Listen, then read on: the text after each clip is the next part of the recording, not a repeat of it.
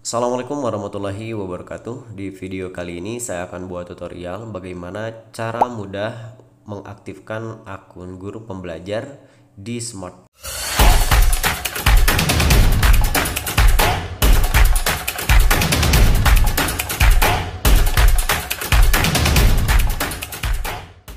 Baik, langsung saja.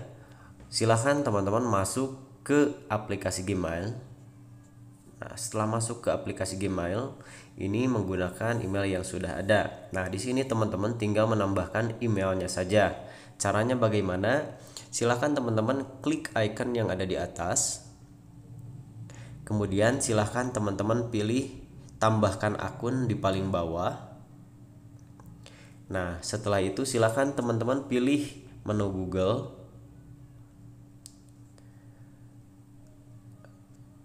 Kalau sudah silahkan buka dengan pola ataupun dengan sidik jari di smartphone-nya masing-masing jika memang e, smartphone-nya di pola atau dikunci dengan sidik jari. Nah di sini teman-teman silahkan tinggal memasukkan emailnya saja. Misalkan saya akan masukkan email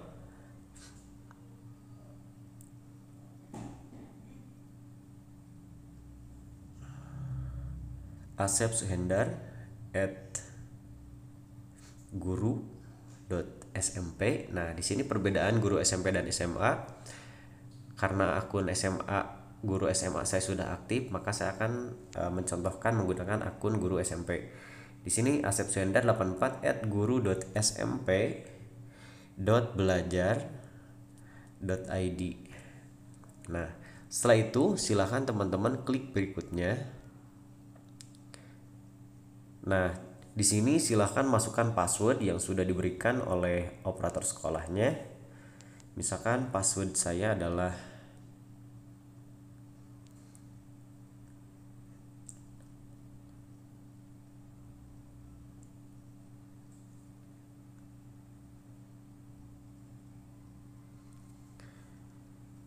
Nah, kalau sudah dimasukkan passwordnya, silahkan klik tombol berikutnya Nah, nanti akan diarahkan ke ucapan selamat datang bahwa tem uh, akun teman-teman sudah bergabung di layanan Google di sini. Nah, ini nggak usah dibaca, mungkin bisa teman-teman langsung klik tombol terima saja. Nah, pada saat teman-teman baru pertama kali mengaktifasi akun, maka di sini akan diminta untuk mengupdate atau merubah password uh, yang tadi teman-teman masukkan. Jadi passwordnya dirubah sesuai dengan password yang kita inginkan supaya tidak lupa. Nah di sini teman-teman silahkan masukkan password yang ingin teman-teman inputkan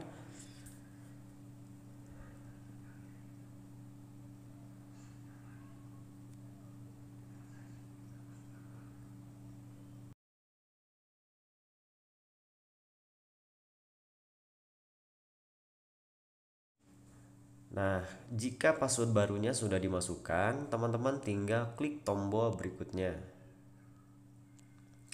Nah, setelah itu teman-teman akan dimintai uh, persetujuan untuk persyaratan dari layanan Google yang nanti akan teman-teman gunakan. Klik saja saya setuju. Nanti akan diarahkan ke halaman pertama email seperti akun Gmail yang teman-teman miliki sebelumnya.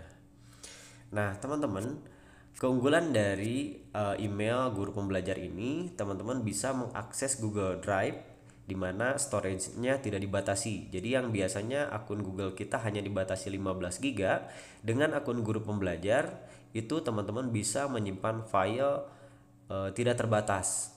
Kemudian juga ketika teman-teman melakukan Google Meet, itu durasinya tidak akan dibatasi. Yang biasanya kita dibatas hanya 40 menit, itu sekarang durasinya dengan menggunakan akun guru pembelajar tidak akan dibatas. Nah, itu kelebihannya. Jadi, sayang sekali kalau misalkan teman-teman tidak mengaktifkan akun guru pembelajar ini karena memang banyak sekali manfaat yang bisa kita gunakan khususnya dalam kegiatan pembelajaran. Baik teman-teman, selamat mempraktekkan dan selamat mengaktifasi akun guru pembelajarnya. Sekian tutorial dari saya. Terima kasih. Wassalamualaikum warahmatullahi wabarakatuh.